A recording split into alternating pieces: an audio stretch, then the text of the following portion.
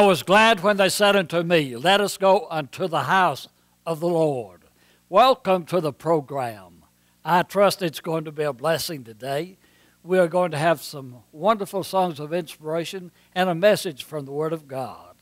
But before we get into the singing, each week I ask you to pick up that telephone, call a friend or a neighbor, and invite them to view the program. Many of you do that, and it helps me advertise this ministry. We're getting right into the singing now. Phil Cross, one of our old favorites here at West Side, is singing this wonderful, wonderful song that he wrote, When I Get Carried Away. And I think we might have some Baptists, so I'm asking you to have some joy and put your hands together right here. And let's maybe sing along if you know it. Here we go. I'm gonna let the glory roll when the roll is called in glory. I'm gonna get beside myself when I get beside the King that day. I'm gonna have the time of my life when the time of my life is over. I'm gonna get carried away when I get carried away. I don't know why I become a little shy when I get around a whole lot of people. And I can't figure out why I never can shout about the love flooding my soul. I must confess I can't express the feelings deep inside me. Are the things I know and cannot show. One day will overflow. Come on now. I'm gonna let the glory roll when the roll is called in glory. Yes, I am. I'm gonna get beside of myself when I get beside the King that day. I'm gonna have the time of my life when the time of my life is over. Gonna get carried away when I get carried away. I'll pass the clouds and shout so loud it may sound like thunder. My tear-filled eyes may fill the skies till it looks like rain. As I leave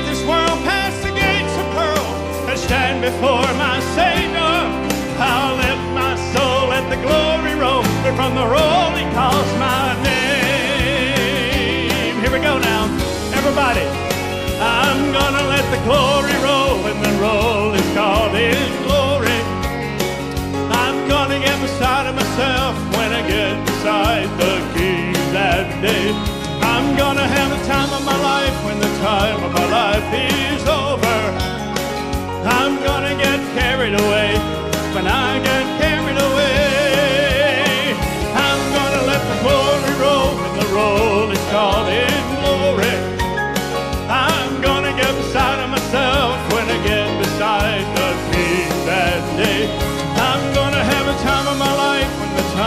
life is over.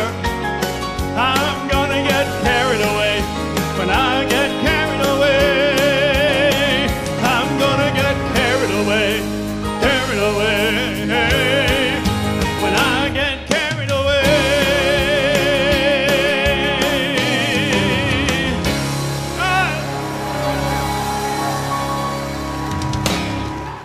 I trust that you have enjoyed the song by Phil. We are going to have another song in just a minute, but right now, I want to take this opportunity to invite you. If you don't have a church home to visit with us here at West Side Baptist Church, you may be new in this area. And I know exactly where we are located, so allow me to give you some very brief directions. If you will simply drive downtown, driving south on Jackson Street, you will pass the old courthouse, drive to the bottom of the hill. Now, at the bottom of the hill, the street changes in name only to LaGrange Street. Drive down LaGrange Street, past the Newnan High School, and drive one and a half miles further. Look for the church on the left hand side of the road. In fact, just look for the big white cross on the church sign 762 Smokey Road. Now, our services begin on Sunday morning at 10 o'clock with Sunday school, 11 o'clock morning worship, 6 p.m. the evening service, and on Wednesday at 6.30 we have the children's ministries, 7 o'clock the teen ministries, and the adult Bible study and prayer service. Come out and visit with us. We would be so thrilled, so honored to have you do that. Now we're getting right back into the singing. A wonderful song by Miss Cheryl Lomax. The title of her song is Ride Out Your Storm.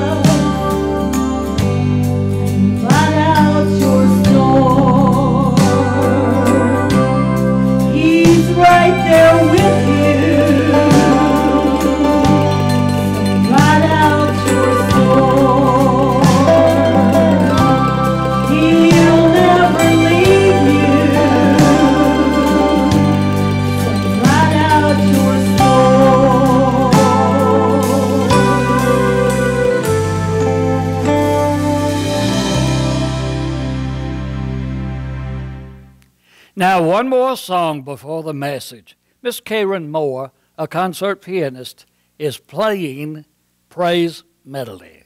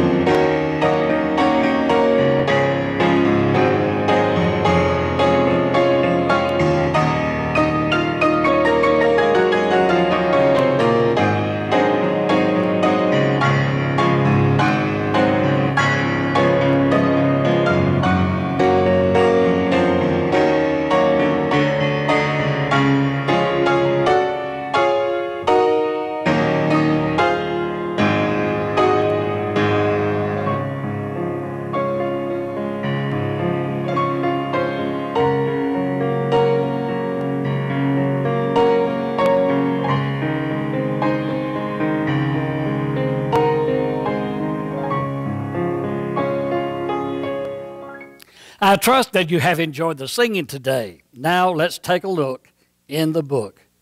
If you have your Bible, I really suggest you take a pencil and a piece of paper, jot these references down.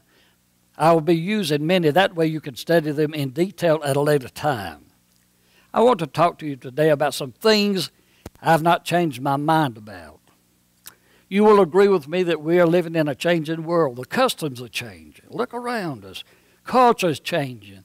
Church members are changing. But today I want to talk to you about some things that I will never change. I will stand on, and I trust that you will stand on the same things as well. First of all, let's address the Word of God. It's inspired, verbally inspired. It's not only inspired, but it's inerrant. It does not have error in it. It's infallible. God's holy word. God breathed, if you please. It's a book of wonder. Oh, listen. A book of worship, a book of warfare. Listen, we're in a spiritual battle today. And we need the Word of God to reinforce us, to strengthen us, and help us as we walk this walk of faith. It's a map for direction. It tells us where we've been, where we're at, and where we're going. It's a manual for discretion. Oh, I want to tell you, and it's a mirror for our discipline to show us when we err and how to correct it. Read it and be wise. Read it and be wise. Believe it and be saved, my dear friend. Practice it and be holy. Obey it and be blessed.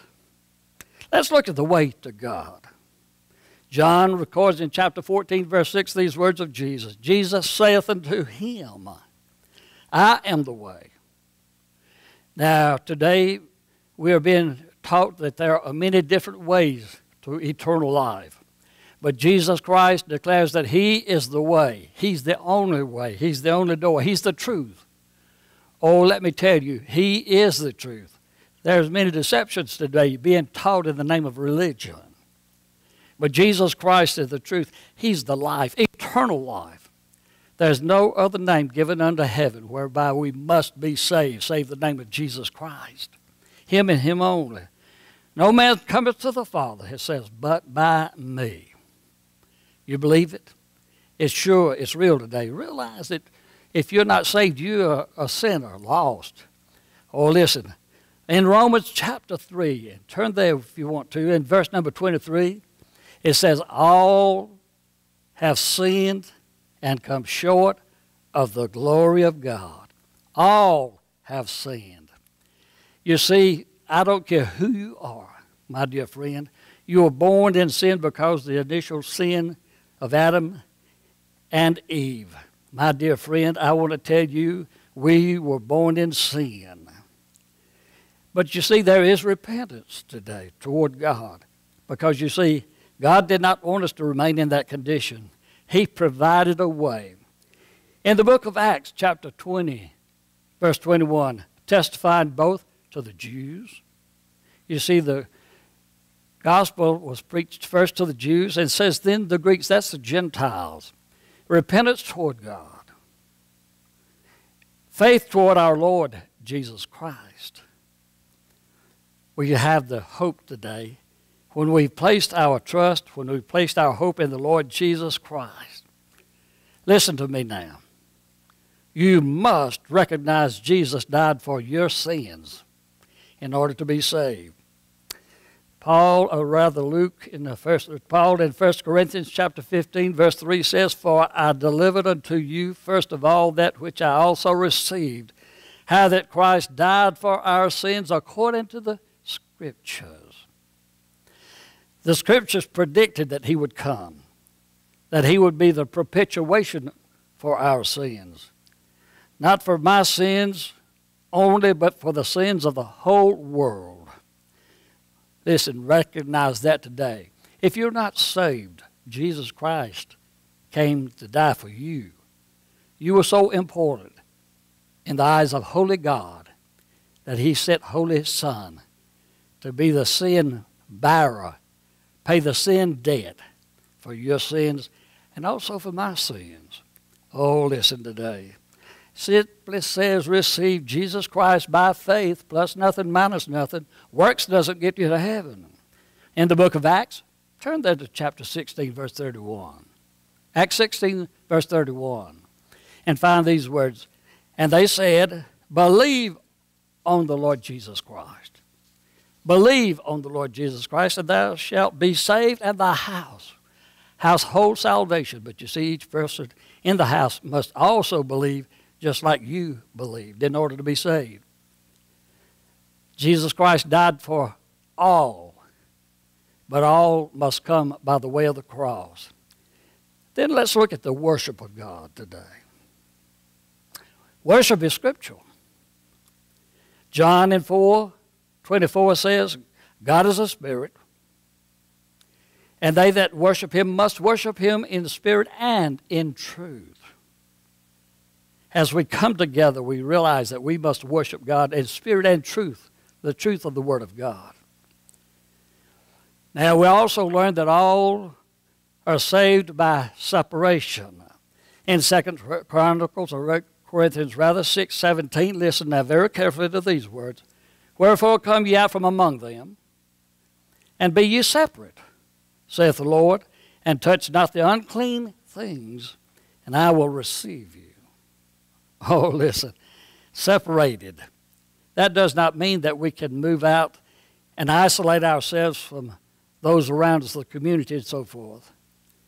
But you see, it means do not participate in those worldly things. Don't walk the worldly walk any longer because you are a new creation in Christ Jesus and you are to live a clean, separated life, holy unto God. Let's look at the will of God. It is the will of God that all sinners be saved, my dear friend. Whosoever will. As uh, Timothy is uh, told in uh, by the Apostle Paul in chapter 2, verse 4 Who will have all men to be saved and to come to the knowledge of truth? It's not God's will that any should perish, but all should come to saving knowledge. All should come and become part of the great family of God. I trust you are today. You who are viewing might not be, some of you might not be, but you can be before this broadcast is over.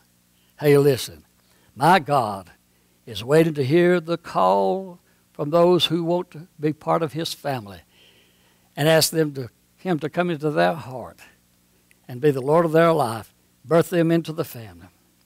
But I want to tell you, all saved will be separated. In 2 Corinthians 6 17, wherefore come out from among them. Doesn't mean that you have not that you cannot have fellowship with lost people. You cannot isolate yourself from people who are not saved. They're all around us.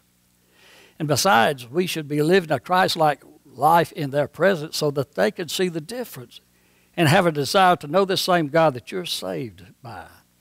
It says, Be ye separate, saith the Lord, and touch not the unclean things, and I will receive you.